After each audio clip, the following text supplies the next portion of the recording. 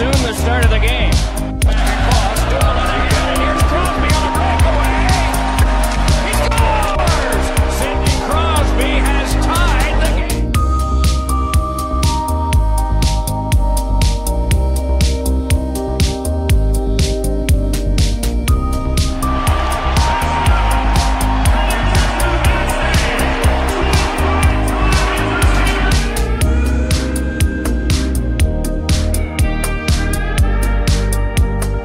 Hey everyone, showing good sportsmanship is part of being good citizens of Smashville.